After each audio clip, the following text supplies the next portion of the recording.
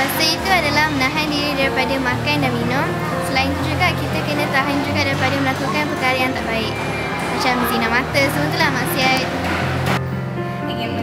Puasa itu ada tiga peringkat. Uh, yang yang paling rendah peringkat umum iaitu puasa macam yang general kita tahu tu macam tahan diri daripada daripada lapar dan dahaga semua tu. Lepas yang kedua peringkat khusus. Uh, puasa khusus ni kita uh, buat benda uh, yang disuruh tu tapi dalam masa yang sama kita tambahkan dengan ibadah-ibadah kita. Yang paling tinggi puasa khusus khusus. Puasa khusus khusus ni untuk orang yang macam paling tawaduk lah kan. Yang puasa tu dapat bawakan dia untuk lebih dekat kepada Allah SWT. Baik.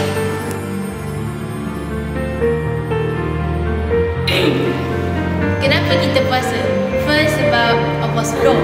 Second uh, sebab kita sebagai seorang Muslim itu adalah kewajipan kita. Yang ketiga kalau korang dah pahala, korang puasalah penuh jangan tinggal. Ha? Kita kena puasa sebab itu kewajipan kita sebagai seorang Islam.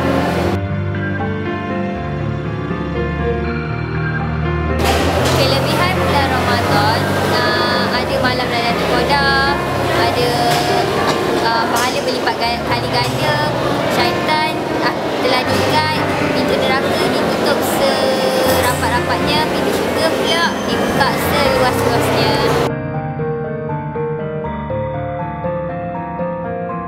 Kita kenalah kumpul banyak-banyak pahala dalam bulan Ramadan. Apa yang kita buat dalam bulan puasa, eh dalam bulan Ramadan, kita puasa.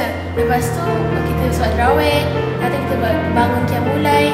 Lepas tu kita sedekah banyak-banyak, tolong benda baik je. Uh, benda jahat.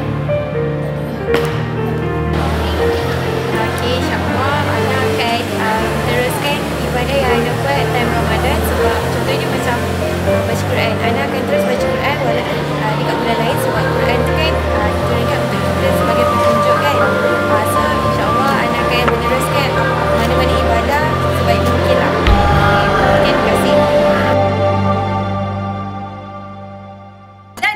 kesimpulannya kita kenalah banyak buat amal baik masa bulan puasa ni.